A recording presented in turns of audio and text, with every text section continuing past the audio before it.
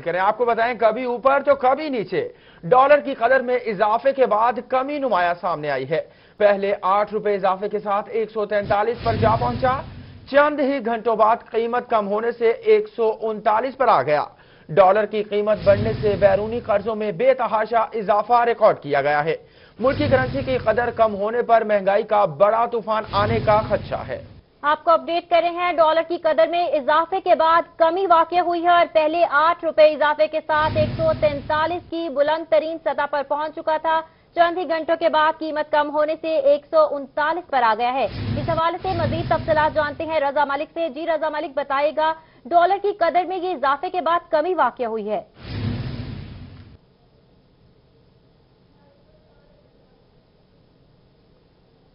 جی بالکل جس طرح سے آج جو کاروباری کاروباری امور ہیں، وہ شروع ہوئے بینکس میں، جو ریٹ کھلا، اس کا، اس نے ایک ریکارڈ اضافہ دیکھنے میں آیا، ایک سو بیالیس روپے سے ایک سو تینتالیس روپے کا ہو گیا ڈالر، جس کی وجہ سے جو قرضے ہیں ملکی قرضوں کے حجم میں، ایک دم سے سات سو ساٹھ ارب روپے کا جو ہے وہ اضافہ ہو گیا اور اس وقت اس ڈالر کی اس قدر قیمت اوپر جانے سے اور جو ملکی کرنسی ہے، اس کی ویلیو کم ہونے کا جو ایک ریکارڈ بنا، اس نے چیخیں نکلوا دی لوگوں کی اور ایک بڑا مہنگائی کا جو طوفان آنے کا ایک خدشہ پیدا ہو گیا اس حوالے سے، لیکن چند گھنٹوں میں جو صورتحال ہے وہ بہتر ہوئی اور جو ایک ڈالر کی قیمت ہے وہ قدرے کم ہوئی اور اس وقت جو صورتحال ہے، ایک سو اٹھتیس روپے سے ایک سو انتالیس روپے کے درمیان جو ڈالر ہے، اس کی جو بینک کا ریٹ ہے وہ یہی بتایا جا رہا ہے اور چار بجے کے قریب ایک دفعہ پھر جو ایک نیا ریٹ ہے، اس کے سامنے آنے کا امکان ہے اور اس حوالے سے جو ذرائع کا کہنا ہے کہ شاید اب قدرے جو ہے، اس میں کمی ہوگی اور اس حوالے سے،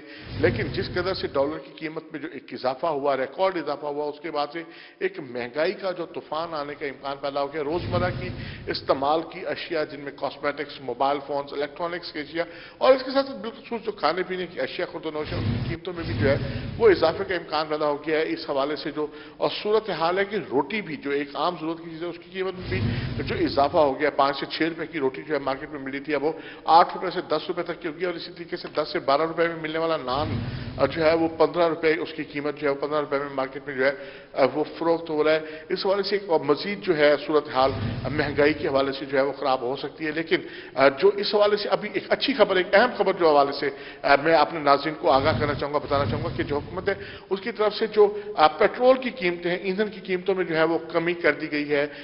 پیٹرول اور ڈیزل کو دو روپے جو ہے وہ سستا کیا گیا اور اسی طریقے سے مٹی کے تیل کی قیمت میں تین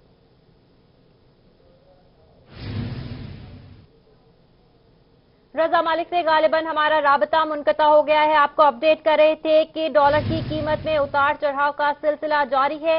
اب ساتھ ہی ساتھ ڈالر کی قیمت تو کبھی بڑھ رہی ہے، تو کبھی کم ہو رہی ہے، جس کی وجہ سے مہنگائی بھی آ رہی ہے۔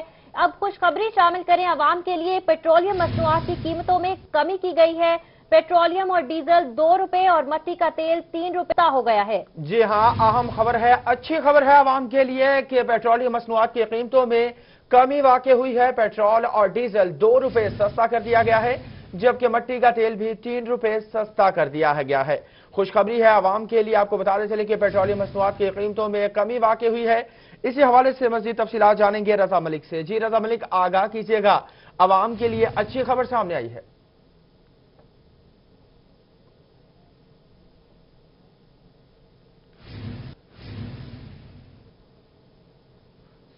رضا ملک سے ہم رابطہ کرنے کی کوشش کر رہے ہیں۔ یہاں پر عوام کو اچھی خبر سے آگاہ کریں۔ آپ کو بتائیں کہ پیٹرولیم مصنوعات کی قیمتوں میں کمی واقع ہوئی ہے۔ پیٹرول اور ڈیزل دو روپے، جبکہ مٹی کا تیل تین روپے سستا ہو گیا ہے۔ رضا ملک سے ہمارا رابطہ بحال ہوا ہے، ان سے مزید تفصیلات جانتے ہیں۔ جی رضا ملک، آگاہ کیجیے گا۔ عوام کے لیے اچھی خبر سامنے آئی ہے۔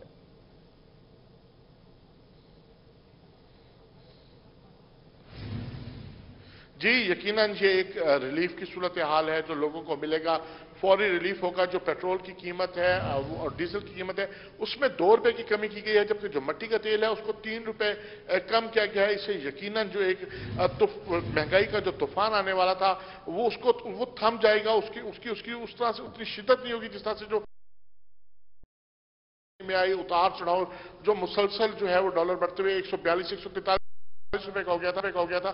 اور اب جو ڈالر کی صورت حال ہے، وہ ایک سو اٹھتیس، ایک سو انتالیس روپے میں ہے۔ اور ایسے میں حکومت کی طرف فیصلہ لیا گیا ہے کہ جو ایندھن کی قیمتیں ہیں، جو فیول کی قیمتیں ہیں، پیٹرول اور ڈیزل اس میں دو روپے فی لیٹر جو ہے وہ کمی کی گئی ہے، جبکہ مٹی کے تیل میں جو ہے وہ تین روپے فی لیٹر کمی کی گئی ہے۔ اس سے یقیناً آج شہریوں کو، لوگوں کو، عام آدمی کو جو ہے اس کو ریلیف ملنے کا امکان پیدا ہو گیا اور جو ایک صورتحال ہے مہنگائی کے، جو طوفان ہے، اس کی شدت میں یقیناً کمی ہوگی اور اس حوالے سے یہ ایک ایسا اقدام ہے جو حکومت کی طرف سے کیا گیا ہے کہ پیٹرولیم مصنوعات کی قیمتوں میں کمی کی گئی ہے۔ اگر ڈالر کی قیمت میں مزید اگر اضافہ نہ ہوتا تو یہ یقیناً یہ ریلیف زیادہ بھی ہو سکتا تھا، لیکن حکومت کی طرف سے فوری طور پر جو ہے، اس طرح کا اعلان کر دے گا، جس کے بعد عام آدمی کو بھی اس حوالے سے ریلیف ملے گا۔ جی۔